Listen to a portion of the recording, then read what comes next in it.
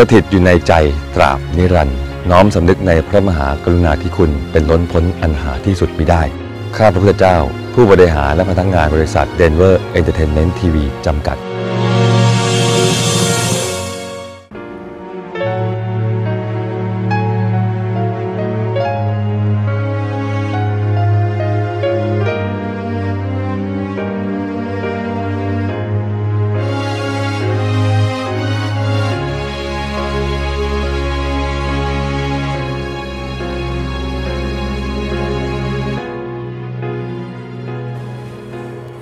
สวัสดีครับค่ะอร่อยช่อง 5 มาแล้วครับคุณผู้ชมครับใช่ค่ะนะฮะ ทุกวันอาทิตย์ 11 โมงก็พบกับเรา 2 คนนะฮะ ถูกต้องค่ะ รับรองว่าความอร่อยเนี่ยนะคะครับเหมือนเดิมไม่เคยเปลี่ยนเลยค่ะ ครับผมวันนี้เราจัดให้นะฮะสามร้านเต็มๆครับคุณผู้ชมครับซอกนะแซฮะกไปไหนดีคะแต่ละร้านจัดให้เลยกับซอกแซกที่แรกนะฮะไปไหนพาไปชิมคะเขาเรียกว่าหมี่ผัดสูตรเก่าสูตรแก่ของอ่างทองนะฮะเขามาเปิดที่กรุงเทพนี่เองนะครับ ชื่อร้านก็คือรสโอชาครับคุณผู้ชมครับ ร้านนี้พิเศษยังไงสามารถเลือกความเผ็ดได้ถึง 4 ระดับด้วยกันนะฮะหมี่ผัดไม่น่าเผ็ดปะ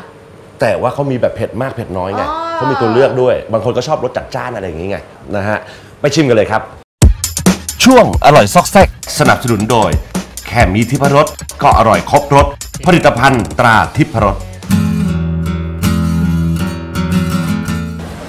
อร่อยซอกแซกบาราจานะฮะเอาละครับคุณผู้ชมครับวันนี้นะฮะผมอยู่ที่ Terminal นะฮะอย่างที่บอกนะฮะจะพาคุณผู้ชมนะมากินผัดหมี่สูตรโบราณโบราณสูตรดั้งเดิมของจังหวัดอ่างทองนะฮะซึ่งเขามาเปิดอยู่ที่ Terminal นั่นเองนะครับเขาบอกว่าที่เนี่ยเป็นสูตรที่แบบเฉพาะเลือกความเผ็ดได้มีหลายหน้าตามากเลยนะฮะวันนี้ผมก็นัดกับเจ้าของร้านไว้นะฮะเขาชื่อคุณลี่นะฮะหน้าตาน่าจะสวยแล้วล่ะเขาชื่อเพราะขนาดนี้นะฮะคุณลี่นะครับนะฮะเดี๋ยวไปคุยกับคุณลี่กันครับ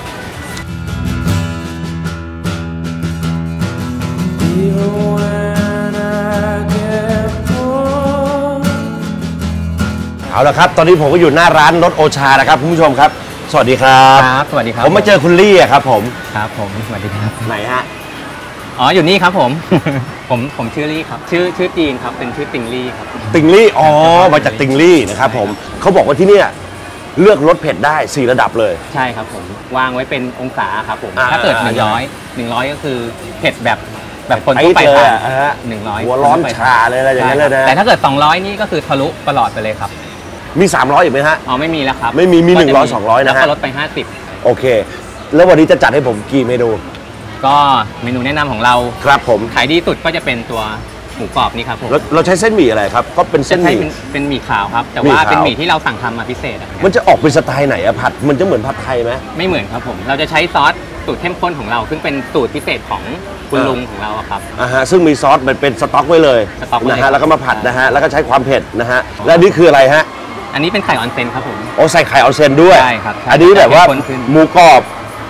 ไข่ออนเซนครับนะฮะสองรสชาตินี้เลยใช่ไหมฮะใช่ครับคนที่มาทานนี่ส่วนมากก็จะซื้อใส่อะไรอ๋อจะใส่ไม่มีแพ็กเกจตัวแพ็กเกจตัวนี้ครับผมอย่างนี้ที่เท่าไหร่อะคุณลี่ก็เริ่มต้นถ้าเกิดเป็น original จะเป็น 90 บาทครับผมแต่ถ้าเกิดอยากเพิ่มท็อปปิ้งนะครับก็เริ่มต้นที่ 120 บาท ครับครับผมท็อปปิ้งเรามีอะไรบ้างครับ ก็มีหมูกรอบครับผมอ่า แล้วก็เป็นไข่ออนเซนไข่ออนเซนสองอย่างให้เลือกนะฮะ ครับ วันนี้จัดมาตั้งกี่เมนูครับ ให้เจ๊ก็จิมเดี๋ยวผมจะทำให้พี่ 2 เมนูครับผมพี่อ่า ทานเผ็ดขนาดไหนครับ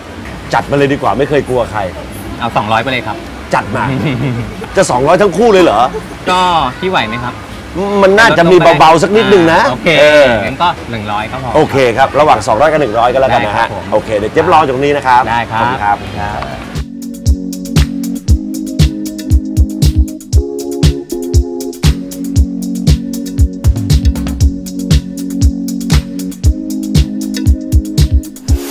ละฮะเตรียมตะเกียบเรียบร้อยแล้ว เสร็จแล้วนะอัเป็ฮะนหน้าหมูกรอบครับผม หมูกรอบแบบนี้เลยนะ ใช่ครับ ของดั้งเดิมนี่จะไม่มีหมูกรอบ ครับไม่มีครับอืมใส่กุ้งแห้งครับคุณผู้ชมครับมีอะไรบ้างเนี่ยมีกากหมูกากหมูครับผมนะฮะคือส่วนผสมทุกอย่างนี้เราส่งตรงมาจากอ่างทองเลยนะครับผมอือฮึ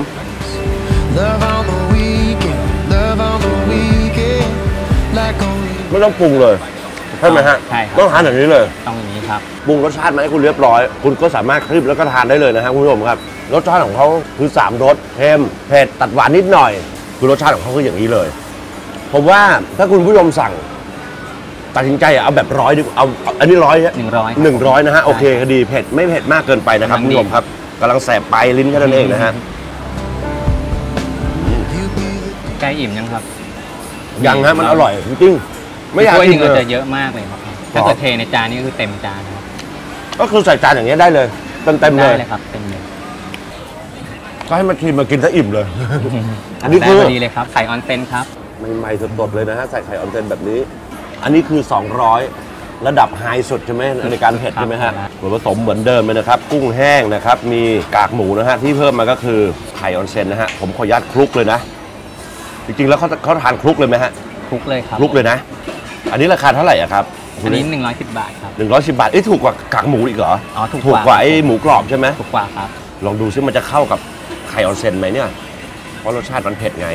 ลองดูนะฮะมั้งครับ อืมใช้ได้เลยฮะเฮ้ยมันเข้าอะเผ็ดมาก แต่ว่าไข่มันทำให้ซอฟต์ลงได้นะฮะผมว่าแน่นอนถ้าเกิดว่าคุณผู้ชมมาสั่งไข่ออนเซนดีกว่าถ้าจะเอาเผ็ดมากนะฮะมันจะทำให้รสเผ็ดเบาลง แต่ว่ามัน จัดจ้าน